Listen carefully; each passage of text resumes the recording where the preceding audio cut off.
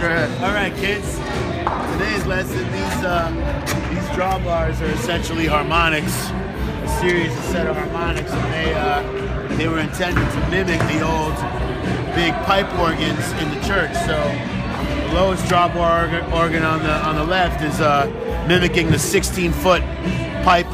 Uh, this would be an eight foot. Then they start to get into a series of harmonics, some of which are on the octave and some of which are off. So you have a combination of nine series of nine nine drawbars you can manipulate uh, to get your sound. I Can you demonstrate uh, some different sounds on that? So here's just the 16. Here's just the 16. Now here's a little 16 with a little, a couple others thrown in here.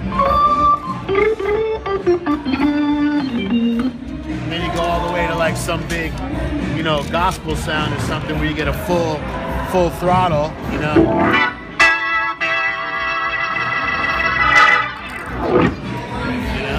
Very cool. Thank There you. you go.